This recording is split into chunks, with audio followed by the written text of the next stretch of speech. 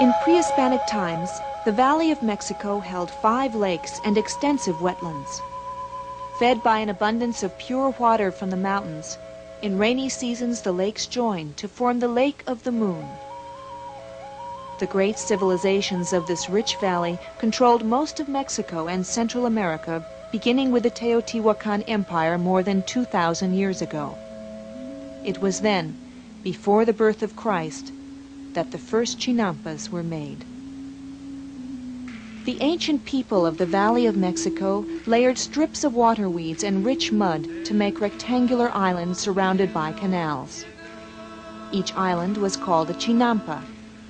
Crops were planted, and one of the world's most productive forms of agriculture was born.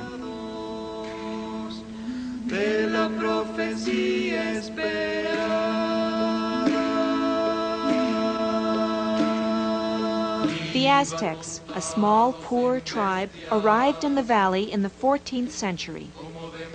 They adopted the Chinampa system already in use by resident tribes and expanded it.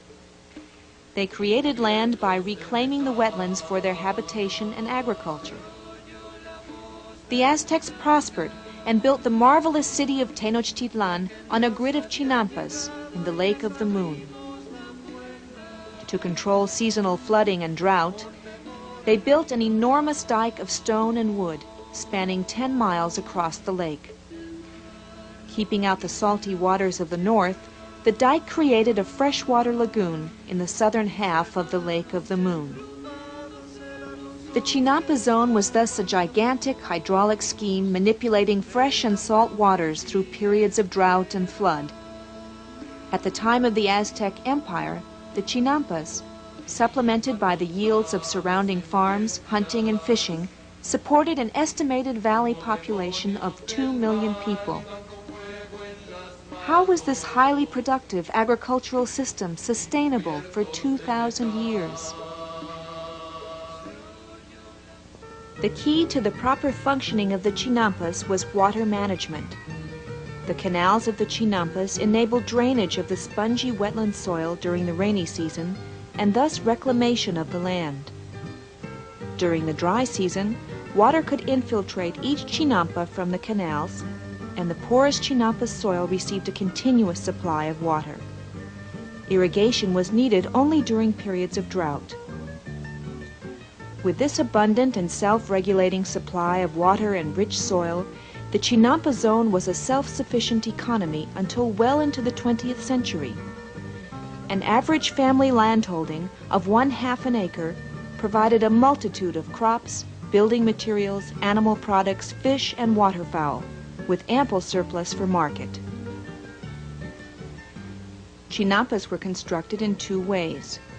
In marshy areas, ditches were dug around rectangular pieces of land, piling the mud on top to create the chinampas. In shallow lakes, the building of a chinampa required seven steps.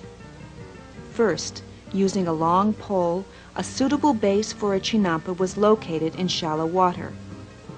Wherever possible, the remains of an old chinampa, called a cimiento, were used. Second, strong reeds were stuck in the bottom, marking the dimensions of the base. Most chinampas were about 300 feet long and 30 feet wide. Third, Mud was dug from around it and piled on top of the reeds and the cimiento. Fourth, mats of water vegetation were cut and towed to the new chinampa. Fifth, a compost heap was created by layering the mats of vegetation on top of each other until there was a thick cap of vegetation. Sixth, mud from the bottom of the lake was mixed with soil from an old chinampa and placed on top reaching a height of about one foot above the water level. A porous base, rich in organic matter, was thus created through which water easily flowed. Lastly, the sides were secured with woven reeds, and then willow trees, Salix bonplandiana, were planted around the edges. Willows planted hundreds of years ago can still be seen in the Chinampa zone that survives today, on the southern edge of Mexico City. The willow roots grow very fast and deep, so they don't compete with crops for soil nutrients, nor interfere with cultivation. And because they have a very narrow shape, they don't shade crops either. But they do provide protection from frost and wind, as well as nesting sites for birds and other pest predators. In addition, the willows are the community's major source of construction materials and firewood.